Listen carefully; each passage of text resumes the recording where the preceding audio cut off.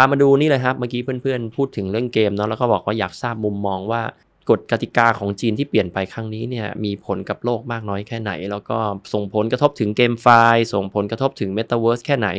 เดี๋ยวผมแชร์มุมมองให้ฟังนะครับแต่อ่านข่าวให้ฟังก่อนนะครับ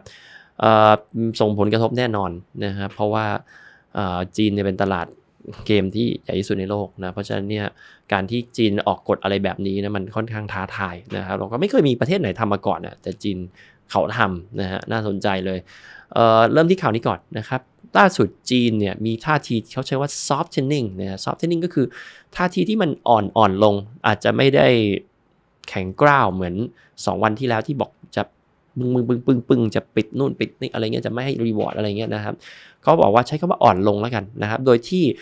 ล่าสุดเนี่ยเมื่อวันจันทร์ที่ผ่านมาก็คือเมื่อวานนี้เองเนี่ยมีการ approve เกม domestic game เนี่ย รัฐบาลจีน approve ให้นะครับเพิ่มอีก 105 เกมมันหมายถึงว่าอะไร หมายความว่าเกมหลายๆเกมเนี่ยถึงยังอยู่ในโมเดลเดิมอยู่ รัฐบาลจีนก็ให้ผ่านนะ ไม่ได้ว่าจะแบน แต่ว่าบังคับให้ทุกคนอยู่ในกรอบ และกรอบเนี้ยเป็นกรอบที่ค่อนข้างสำคัญด้วยนะครับเขาบอกว่ามันเป็นกรอบที่รัฐบาลจีนต้องการที่จะทำให้มัน fair play โดยที่ผู้ผลิตเกมเนี่ยไม่ควรจะหารายได้จากการ เน้นทุนนิยม คือเน้นเรื่องของการเข้ามาเก็บแต้ม เข้ามาหลอกล่อแท็กติกต่างๆ เพื่อสร้างรายได้มากจนเกินไป อย่างนี้ถือเป็นเรื่องของการเอาเปรียบผู้บริโภคนะครับ เพราะว่าหลอกล่อให้เขาติด หลอกล่อให้เขามี character กับคุณ แล้วเขาทิ้งไม่ได้ เพราะว่าเขาสร้างอะไรบางอย่างไว้กับคุณแล้วเขาผูกพัน ถึงช็อตเนี้ยคุณจะเป็นช็อตที่คุณเรียกว่าทำไงกับเขาก็ได้ ถ้าเป็นภาษาไทยเรียกของตายนะ ก็คือคุณติดเกมแล้วอะ่ะ อันนี้ก็คือช็อตสูบเลือดสูบเนื้อคุณอย่างเดียวเลยนะครับก็คือออกอะไรมาบังคับอะไรคุณก็ต้องทำนะครับ แล้วก็บางอย่างไม่จ่ายก็ต้องยินดีจ่าย เพราะว่าถ้าไม่จ่ายสู้คนอื่นไม่ได้ และที่ทำมาก็จะสูญหายไปนะมันจะเป็นเรื่องของอะไรแบบนี้นะครับ ซึ่งรัฐบาลจีนมองว่ามันเป็นเรื่องของการมอมเมา หารายได้ได้ แต่ว่าไม่ควรหารายได้จนมันทำให้มันดูเอาเปรียบผู้บริโภคนะเออก็น่าสนใจกับคำพูดเหล่านี้นะว่าโอ้เขาคิด ละเอียดเหมือนกันนะเวลาฟังความคิดเขาจริง ๆ ว่าเขาจะทำอะไร แล้วเขาก็ตัดสินใจที่ approve อีก 150 เกมเนี่ย เมื่อวันจันทร์ที่ผ่านมา โดยให้เหตุผลว่าก็ไม่ได้จะแบนนะไม่ได้จะแบน แต่ว่าต้องการทำให้ ecosystem มันแฟร์กับทุกฝ่าย เออ น่าสนใจ มันแฟร์กับทุกฝ่ายแล้วก็ทำให้ทุกฝ่ายไปได้ คนมาเล่นเกม ควรมีความสุขกับการเล่นเกม ไม่ใช่มีความทุกข์กับการมาเก็บของ ก็เออมันก็จริงในบางเวลานะเพราะบางทีเราก็วุ่นวุ่นนะชีวิตวุ่นจะตาย แต่ว่ามันถึงเวลาต้องเก็บของแล้วกำลังประชุมเนี่ยต้องก็ต้องแวะไปเก็บของก่อนอะไรเงี้ยนะครับ ซึ่ง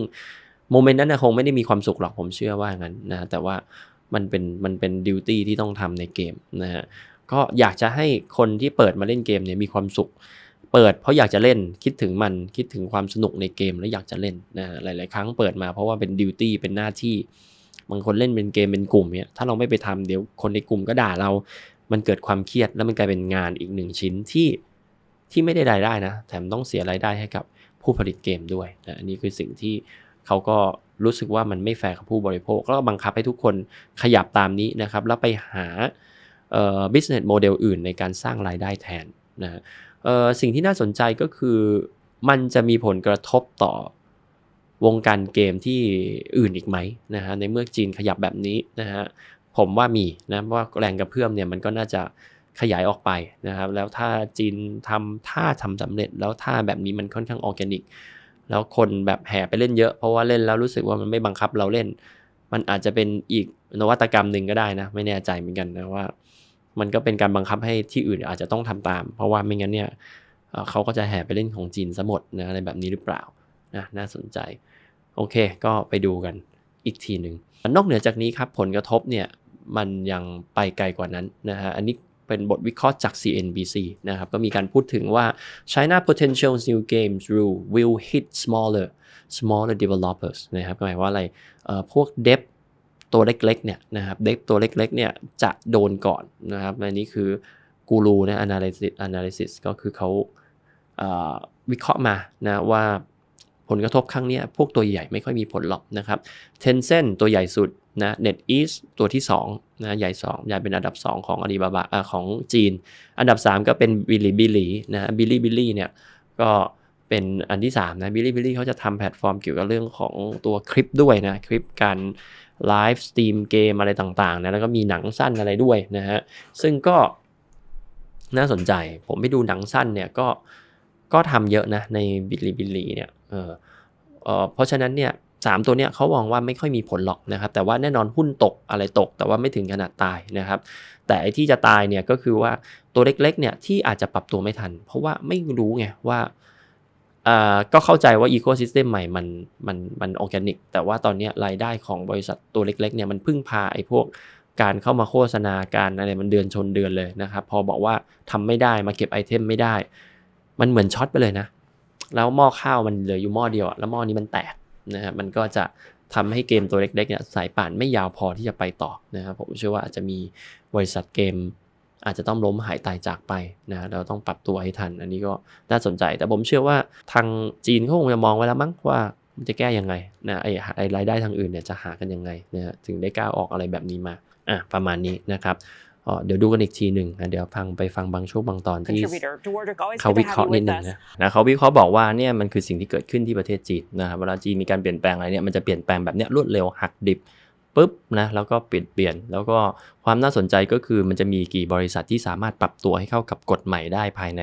ช่วงค่ำคืนพิบตาอะไรแบบนี้นะฮะอันนี้คือตัวจที่หนึ่งแล้วก็อย่างที่สองเนี่ยคำถามที่สองก็คือว่าพอเปลี่ยนแบบนี้เนี่ยได้แล้วเนี่ยก็นี่คือจบหรือยังหรือว่าจะมีอีก หรือว่าอยู่ดีก็จะมี